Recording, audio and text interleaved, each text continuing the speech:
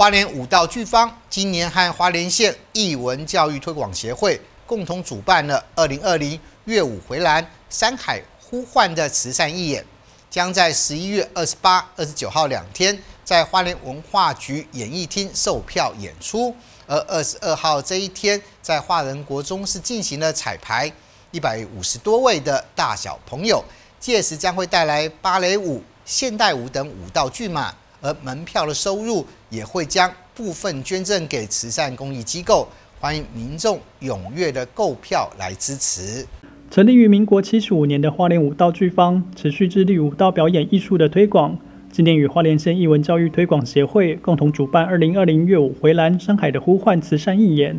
二十二日这天来到华人国中，一百五十多位的大小朋友各自带来芭蕾舞、现代舞等舞蹈。为二十八、二十九日的演出进行彩排。今年的演出是在这个礼拜的礼拜六、礼拜天，也就是呃二八、二九。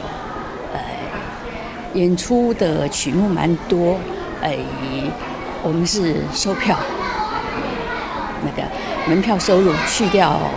开支，呃，结余的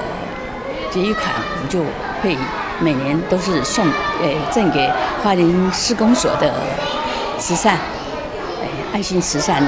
基金，借着每年一度的演出，诶，让大朋友、小朋友，啊，这些舞者们，诶，参与，呃，爱心捐赠的活动，让尤其是家长们也非常的支持。二零二零乐舞回蓝山海的呼唤慈善义演，今年以山海意象为主题，届时将带来十五支的舞马，演出门票收入也会将部分捐助花莲县慈善公益团体，以舞蹈艺术回馈社会。欢迎民众购票支持，购票可至花莲舞蹈剧方、正大书城、生子驿站等票站。更多演出资讯可至花莲县文化局官网查询，或电洽花莲舞蹈剧方零三八三二三五一五。记者蒋邦彦、吉安商报道。